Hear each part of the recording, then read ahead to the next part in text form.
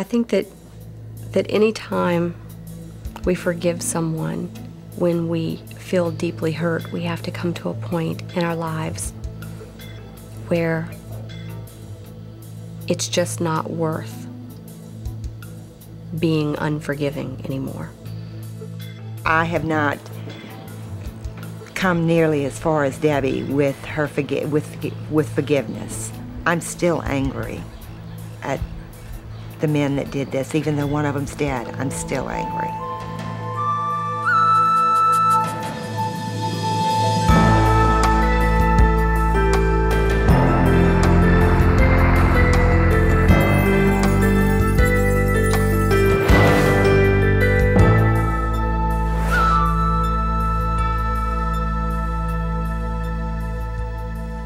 Hello, I'm Dwight Nelson. Welcome to The Evidence.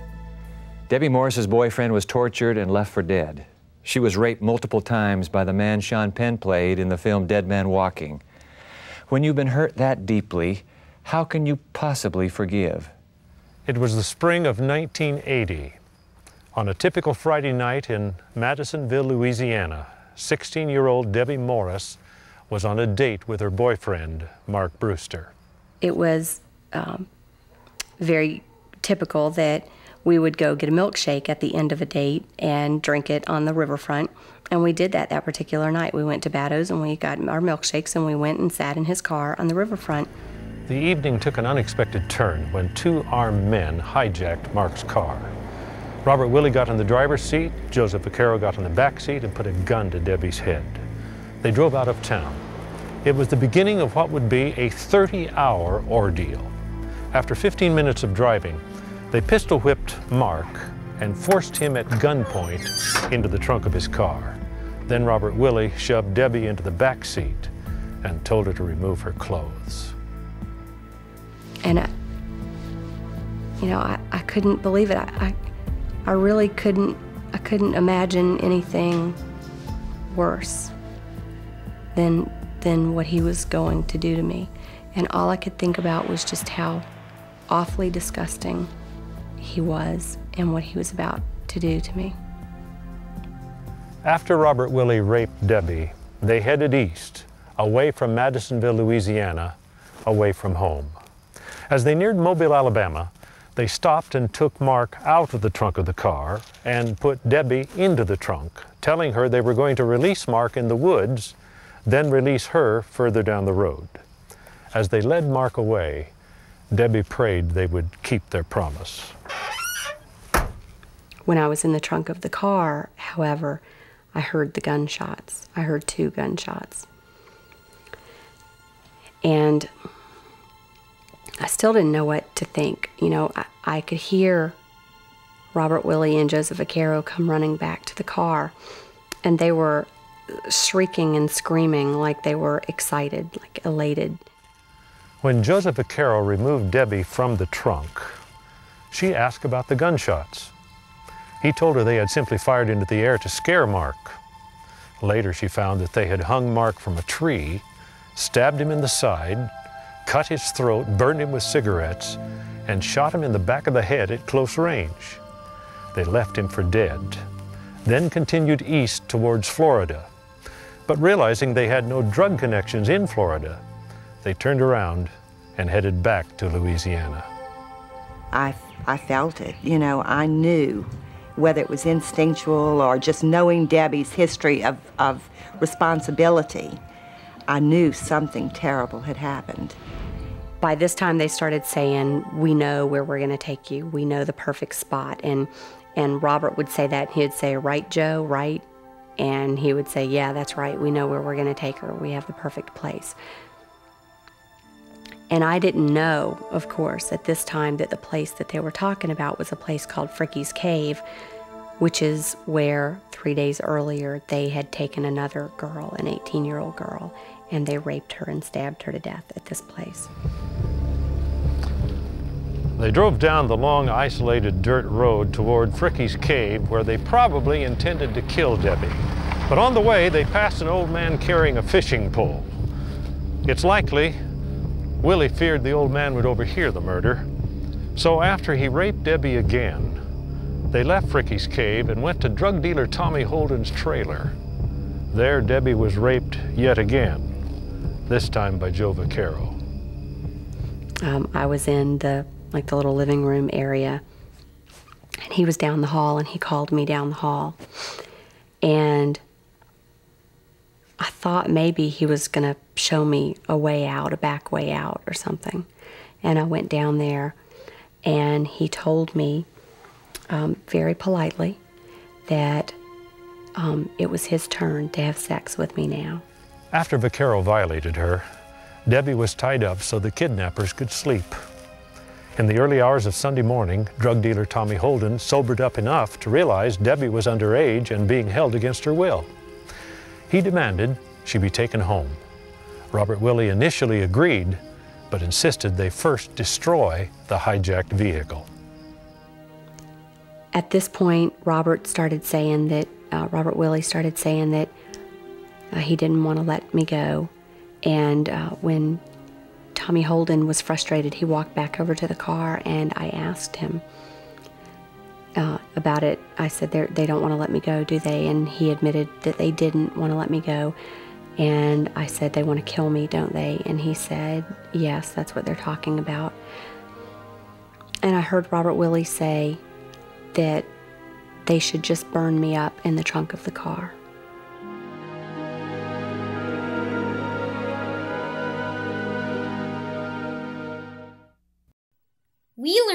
English. Your kids can too. Just watch Hello Channel.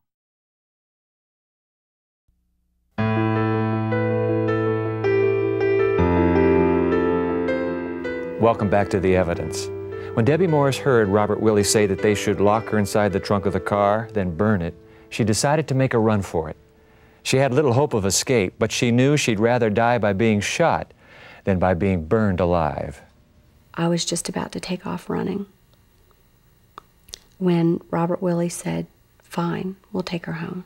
We'll just take her home. We're making a mistake, but we'll just take her home. And they did as I was getting out of the car and they were actually letting me out of the car, I thought that they were either going to shoot me or that they were going to run me over with the car. I really didn't think that they were going to let me go. And by that time, I just, I couldn't even run. I just was willing to let whatever was going to happen happen. And when they drove off, I just couldn't believe it. Uh, my heart just started pounding and I just started running. She ran to her uncle's store and told him to hide with her behind the counter. She was afraid her kidnappers would come back. She grabbed the telephone off the counter and called her mom. And I told her not to tell anybody where she was going, just to get in the car and come get me. Two minutes later, Debbie's mom pulled into the parking lot. She ran out, opened the car door, and the first thing both she and her mother said was, Where's Mark? Debbie knew something terrible had happened to him. She gave a detailed description to the police of where Mark had been left. They found him, barely conscious, but alive. Debbie immediately went to the hospital to see him. I could tell that Mark was relieved to see me.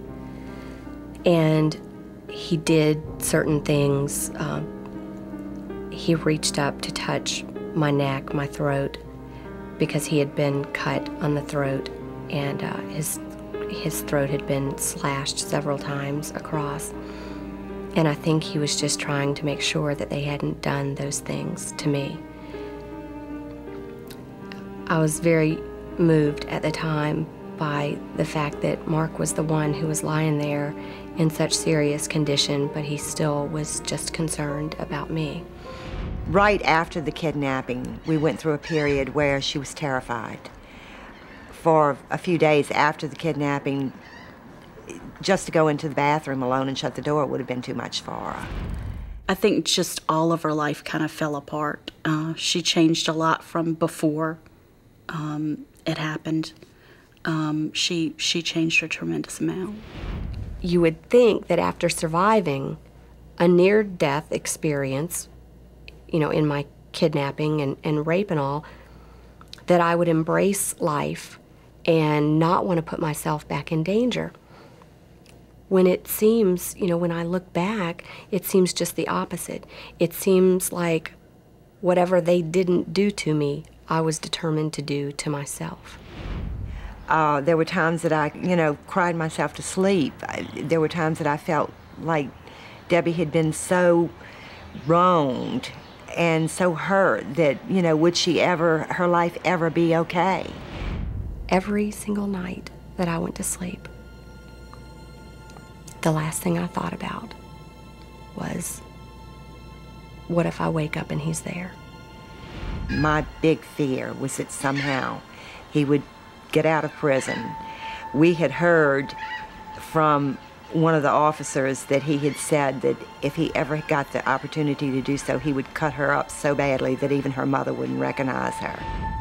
I lived with that fear, and I believed him. And he had actually escaped from that local jail before. I had someone call me in the middle of the night, a hitman, that I had no idea who he was. And he said, if you want them dead, they will be. And at the time, I said no. You know, I believe that the process will take care of it. And thank God that I, you know, I did believe that. During the trial, Debbie avoided eye contact with Robert Willie. On the other hand, Robert blew kisses at Debbie and made crude noises. He looked right at Mark and drew a finger across his neck. He bragged of other crimes he had committed and referred to himself as Jesse James. Like Jesse James, he was finally sentenced to death. Just the idea that there was a person who was actually going to die um, was just, it was hard to comprehend, really. And I started envisioning them walking him into this room and strapping him down on this chair. And while people watched, um, killing him. I, I wanted Robert Willie dead. I know that. At the time, I did. I don't know how I feel about that today. I thought that I would feel excited, happiness, uh, something like that. I knew by the time the execution occurred that I would not feel that. But I didn't expect the numbness that I felt. I can remember one of the things that I hung on to was something that my father had said shortly after the kidnapping. He said, uh, you know, he said, for some reason, for Debbie to have survived this, God had a plan for her. He said something good will come out of this because otherwise she'd be dead. You know, God had a plan. And I kept trying to, to see, to realize what that plan could be. Today I know. On December 28, 1984, Robert Willie was executed. Justice may have been served. But did Robert Willie's death heal the wounds? We'll talk to Debbie Morris and her mother, Sharon Ratliff, about what came next, right after this.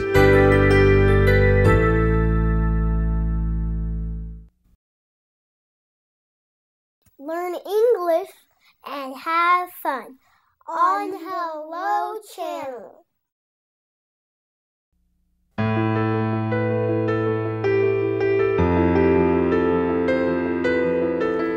In her book, Forgiving the Dead Man Walking, Debbie Morris recounts the story, the, the, really the chilling story of her kidnapping and subsequent ordeal. She and her mother are here to talk about that journey, a journey step by step toward forgiveness. Debbie, glad to have you. Sharon, welcome to Good the to evidence. You know, the, our last segment ended with you describing your emotions as you came closer and closer to the day of Robert Willie's execution. What was going on inside on that day? You have to understand, this was a man that I had feared since the first moment I laid eyes on him. How much time had, had gone by from that first moment till the execution? Four and a half years. Four and a half Four and a half years. years. And wow. for four and a half years, he was the first thing that I thought of when I woke up, the last thing that I thought of before I went mm. to sleep. I, I would say, please don't let him be standing here if I wake up in the middle of the night. I was so terrified of him. I'm sure. So, so there was this great sense of relief that, that I was hoping to feel when he was finally gone, and I thought that that, would, that part of my life would be over and I wouldn't have to fear anymore. But at the same time, the closer the execution got, the more anxiety I felt about Mhm. it. You wake up the next morning, Debbie. What hit you when you saw that headline announced confirming the reality? I, just was numb. It, like I said, it's hard to describe. Did Uh, it, did it bring the closure you were anticipating? No. No, and that would become even more evident in the days, the weeks, the months after. What happens to a person to move you to that closure? Something must have happened. You've had closure. Right, right. What's happened? What happened along the way? It, it was when I just turned back to God and sort of threw my arms up in the air and said, What's going to make this better? And, and how can you help me now? I'm, I give up. I'm willing, I'm willing to let you do it. This is just so much bigger than me. Sharon, you come to the day of execution. Robert Willie is executed. You learn of it obviously the next day. The anger's gone now. No. No. What goes on happening? I thought that I would get some relief. I thought that we would all be different somehow, that this would put closure on it. It really didn't. Nothing really changed. He was dead, but the feelings were still there for me. Do you still feel anger? Yes, I do still feel some anger. It's really hard for a mother to see her children hurt. And, and Debbie was severely hurt and damaged by this. It's very hard. Experientially, what happens when a person forgives? the whole process of forgiveness mm-hmm. happens in steps. It's not an event. A lot of people think that it's an event, and once they say, I want to forgive, I do forgive, help me to over. forgive, that that's it. The pain goes away, everything's okay. That's not what happens. At the time, I was sort of thinking that maybe that's what would happen. But I didn't even understand hmm. forgiveness at the time. What I wanted at that point was for the hate to go away, mm-hmm. f- for this. I felt like I was the one who had been imprisoned for four and a half years. Robert Lee Willie may have been behind bars, but I felt like I had been in prison. I wanted that gone. I wanted to, to quit being controlled by the past, and I wanted to all of a sudden experience a freedom that would help me be able to move into the future. Hmm. That's what I wanted. I wanted it all at once that night. It didn't necessarily happen like that, but it was a step. I did feel the freedom that came with that initial uh, step in forgiveness. Mhm. Is your journey toward forgiveness uh, similar, or No, how did it at happen for you? Basically, as time went by and I saw Debbie begin to recover, I was able to let go of the anger and begin to just be grateful that today I have my daughter sitting next to me. Mm. Is forgiveness something you, you, you simply choose to do, Debbie and Sharon? You say, "Well, I, I'm just gonna, I'm just gonna have to do it." It's a choice. I think it is. I think it's a choice that, that you have to consciously make. You have to set your mind to do. Forgiveness for me meant that I was no longer the one who was responsible for Robert Lee Willie's fate, for, for vengeance Mm, against mhm, him. mhm. Forgiveness for me was very personal. It's what allowed me to be able to move on and experience God's love and grace and the peace that He would have me have. How does God, believing in God, what, what does that contribute to being able to forgive someone who has wronged you so deeply? Let, let me, let me go to you, Sharon. I really didn't give it a lot of thought until Debbie started talking more Mm. about forgiveness. And one day I thought about God on the cross, Jesus on the cross. And I said, you know, his last words were, forgive them. How could I not? Debbie, God and you, how did that make forgiving easier? One of the things that, that really got my attention was when uh, it says in the Bible that, that we will be forgiven as we are willing to forgive Mhm. others. And when I took a look at my life, and over the four and a half years during, after my kidnapping and before Robert Willie's execution, and even some time after that, I had really made a mess of my life, mm. and I needed to be forgiven by God. Mm. I needed to be forgiven by God mostly for turning my back on Him for four and a half years and blaming Him for what happened to me. So, forgiveness, uh, essentially, you're describing a two way process. It's not just me forgiving the whole world that has wronged me, but I need to seek forgiveness myself as a surviving human exactly, being. Exactly, exactly. And for, for instance, for Robert Lee Willie, to benefit from forgiveness. It wasn't my forgiveness that he needed, it was God's forgiveness. Debbie, Sharon, thank you very much for coming here and sharing the story of your journey to forgiveness. God bless you both. Thank you. Thanks. There's more to Debbie's story. You can be mm-hmm. sure of that. In fact, we have it on our website, The Subject of Forgiveness. The expansion of her story, you can go to our website right now. It's just one word, theevidence.org.org. I'm going to be back in just a few moments with some concluding thoughts.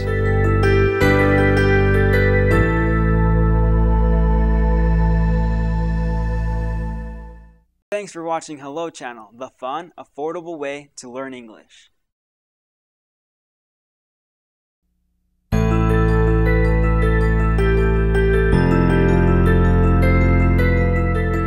One thing that intrigues me about Debbie Morris's remarkable story is the motivation behind her act of forgiveness.